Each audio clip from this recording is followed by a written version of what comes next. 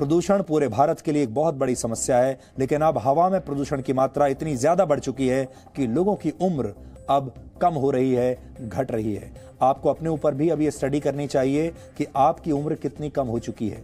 America की university of Chicago से जुड़ी एक रिपोर्ट में यह दावा किया गया है कि भारत के छह राज्यों और एक केंद्र शासित प्रदेश में रहने वाले 48 करोड़ से ज़्यादा लोगों की औसत आयु प्रदूषण की वजह से लगभग सात वर्ष कम हो गई है।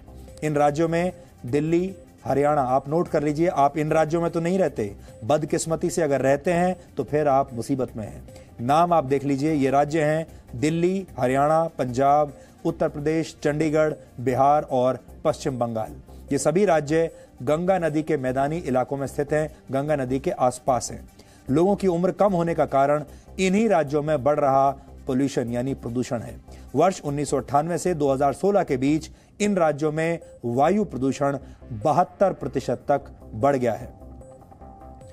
इस इंस्टीट्यूट ने इन राज्यों के लिए एयर क्वालिटी लाइफ इंडेक्स जारी किया है। ये इंडेक्स एक पैमाना है जो ये बताता है कि हवा में घुले हुए प्रदूषण के हिसाब से उस जगह पर रहने वाले लोगों की औसत आयु पर क्या असर पड़ता है। इसीलिए हमने पहले कहा, अगर आप इन राज्यों में रहते हैं तो कागज़ पर नोट कर लीजिए कि आपकी उम्र कितनी कम हो चुकी होगी। इस इंडेक्स के हिसाब से दिल्ली की जहरीली हवा यहाँ के लोगों की औसत उम्र को 10 वर्ष कम कर रही है। 10 वर्ष। प्रदूषण के कारण उत्तर प्रदेश में लोगों की औसत उम्र लगभग साढ़े आठ वर्ष कम हो गई है। भारत के अन्य राज्यों में भी प्रदूषण का असर हुआ है। प्रदूषण की वजह से पूरे भारत में लोगों की औसत उम्र, अगर पूरे भारत की बात की जाए तो लगभग चार वर्ष कम हो गई है। इसलिए आप दुनिया, भारत के किसी भी हिस्से में रहते हो, कम से कम चार वर्ष तो आपकी उम्र कम हो ही चुकी है। आपको याद होगा, हमारे संस्कारों में हम अक्सर जब किसी को आशीर्वाद देते हैं अपने से छोटों को तो ये कहते हैं कि आपकी उम्र लंबी हो। लंबी उम्र का आशीर्वाद हम, हमारे यहाँ भारत में दिया जाता है। लेकिन अब ये जो लंबी उम्र है, ये अब छोटी होती जा रही है। ऐसा इसलिए हो रहा है क्योंकि भारत के अधिकतर राज्यों में वायु की शुद्धता हवा की शुद्धता वर्ल्ड हेल्थ ऑर्गेनाइजेशन के मानकों के हिसाब से बहुत कम है। डब्ल्यू के मुताबिक एक वर्ष में पीएम 2.5 का स्तर औसतन 10 माइक्रोग्राम पर क्यूबिक मीटर होना चाहिए, लेकिन भारतीय मानकों के आधार पर यह स्तर बढ़ाकर 40 माइक्रोग्राम पर क्यूबिक मीटर तय किया गया है। दिल्ली में वर्ष 2016 में पीएम 2.5 का औसत स्तर 113 माइक्रोग्राम पर क्यूबिक मीटर था। कहा हम 40 की बात कर रहे हैं? और कहाँ 113 है, यानी तय किए गए मानकों से कहीं ज़्यादा। यहाँ पीएम का मतलब होता है पार्टिकुलेट मैटर पीएम 2.5 बहुत बारीक कण होते हैं जो इंसान के सिर के बालों के दसवें हिस्से जितने महीन होते हैं। ये बारीक कण सांसों के ज़रिए आपके शरीर में प्रवेश करते हैं, जिससे लोग बीमार हो जाते हैं और उनकी उम्र कम होने लगती है। ये रिपोर्ट भारत के लिए बेहद चिंताजनक है, इसलिए हमने इस विषय की गंभीरता को आपको समझाने के लिए आज एक वीडियो विशेषण तैयार किया है। इस वीडियो विशेषण को देखिए और फिर अपनी उम्र को नापने की कोशिश कीजिए।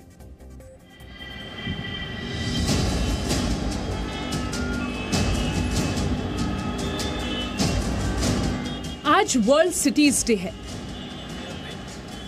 संयुक्त राष्ट्र इस बार innovation and better life for future generation की थीम पर इस दिन को मना रहा है।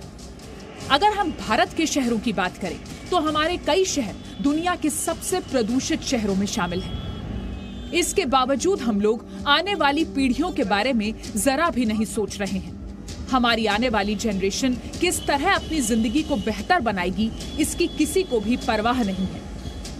बस यही कहना चाहते हैं अगर आप तो अभी मतलब इतने मज़े कर रहे हो अब दिवाली पे कि आप अपने पटाखे चला रहे हो ये कर रहे हो आप अपने आने वाली जनरेशन के लिए ख़राब कर रहे हो। अगर मतलब आप अभी तो अपने जो कितने आप खुशियाँ मना रहे हो लेकिन आ, आएँगे आगे का टाइम है अर्थ के लिए अर्थ नहीं बचेगी हमारी हमारी लिविंग लेके लिए पॉल्यूशन चेक नहीं करवाते जबकि कितने चलान में लगे हैं लेकिन तब भी चेक नहीं करते।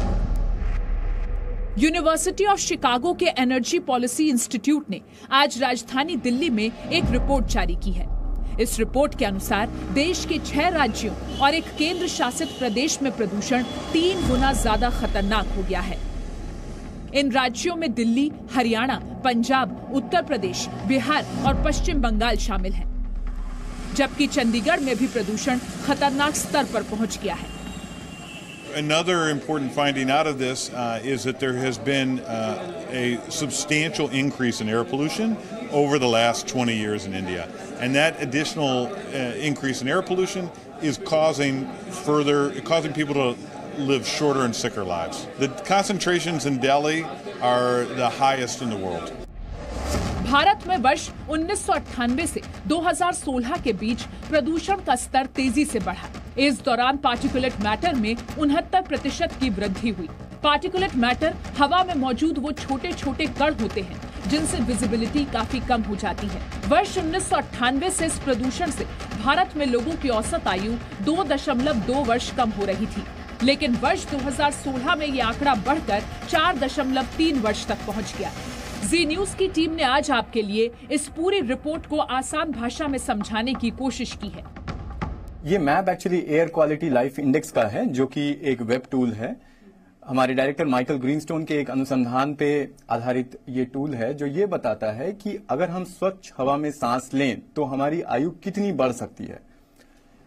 गौर करने की बात है कि जब जब हम इस मैप में भारत के ऊपर जाते हैं, भारत के ऊपर जूम करते हैं तो ये निकल के आता है कि कैसे ये इंडो गैंगेटिक प्लेन गंगा नदी के किनारे जो बसे सभी राज्य हैं, वहाँ पे आप देखिए कि ये बिल्कुल डार्क मेरून हो जाता है, जो ये कह रहा है कि यहाँ पे लोगों की आयु बहुत कम होती चली जा रही है। दुर्भाग्य की बात है कि दिल्ली में ये जब जब इस इस फिगर को हम देखते हैं तो दिल्ली में ये जो एवरेज है, ये 113 हो जाता है, जो कि डब्ल्यूएचओ का कहना है कि ये 10 होना चाहिए।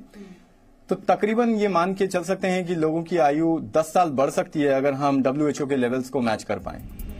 दिल्ली इस प्रदूषण से सबसे ज़्यादा प्रभावित है। वर्ष उन्नीस सौ अट्ठानबे के मुकाबले 2016 में दिल्ली के लोगों की औसत आयु में लगभग 10 वर्ष की कमी आई है। प्रदूषण के कारण दिल्ली इस समय भी गैस चैम्बर बनी हुई है। प्रदूषण का असर ऐसा है कि दिल्ली के लोगों के फेफड़े गुलाबी से काले होते जा रहे हैं। सुधर जाओ अवेयरनेस आनी चाहिए पब्लिक के अंदर, गाड़ियाँ टूल करके चलाओ। तो उससे पोल्यूशन थोड़ा कम होगा। 2014 में मम्मी को वैसे ही अस्थमा प्रॉब्लम थी तो उसी वजह से लास्ट मतलब उस टाइम पे ज़्यादा ही कुछ इतना पटाखे वटाखे चलाए थे तो उस वजह से प्रॉब्लम हुई थी टेस्ट हुए थे तो उसमें निकला था तो उसी वजह से मम्मी की डेथ हो गई थी। यानी प्रदूषण की वजह से पूरा देश परेशान है। डॉक्टर्स इस स्थिति को प्रदूषण वाला आपातकाल बता रहे हैं। मैं इसको as a doctor public health emergency के रूप में देखता हूँ।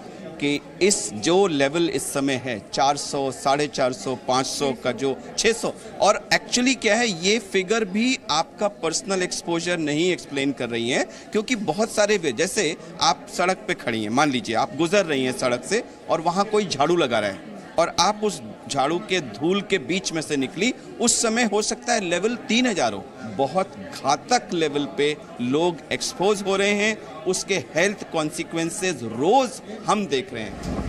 प्रदूषण की बढ़ती समस्या को देखकर आप कह सकते हैं कि अगर हम समय रहते नहीं सुधरे तो समय हमें सुधरने का कोई मौका नहीं देगा।